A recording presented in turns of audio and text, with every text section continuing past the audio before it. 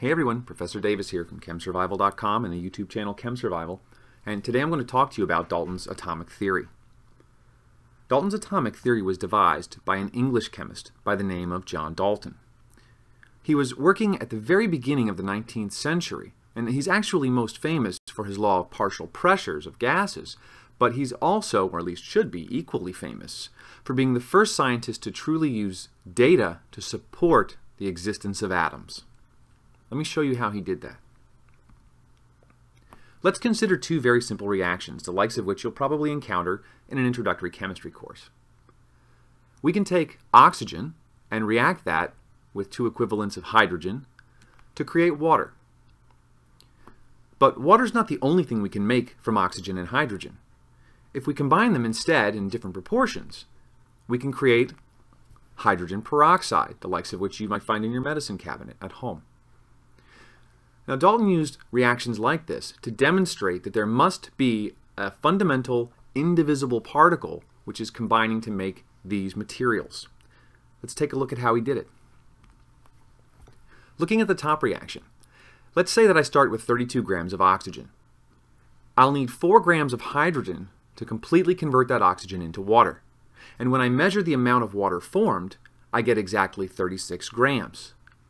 Now you probably noticed that the sum of the masses of all the starting materials in this case is equal to the mass of the products.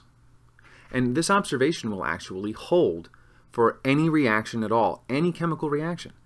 Let's take a look at the bottom one. 32 grams of oxygen can react with 2 grams of hydrogen, in this case to form 34 grams of hydrogen peroxide. Again, my masses should balance. We call this the law of conservation of mass, because in any chemical process it will always hold true that the total mass of all starting materials is equal to the total mass of all products. Now let's look at one more mathematical relationship. Let's look at the ratio of the starting materials to one another. In the top reaction, we have 32 grams of oxygen and 4 grams of hydrogen. So I need 8 times as much oxygen as hydrogen by mass. This is something that Dalton could have measured. In my lower reaction, I have 32 grams of oxygen reacting with 2 grams of hydrogen. The ratio, 16. And these ratios are similar to one another. They're divisible by a very small whole number ratio, in this case 2.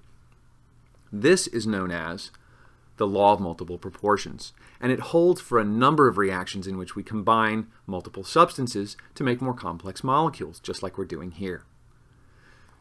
What Dalton did was to combine the law of conservation of mass with the law of multiple proportions to demonstrate that there must be some fundamental indivisible particle. In other words, you can't add a half of a hydrogen atom to a molecule.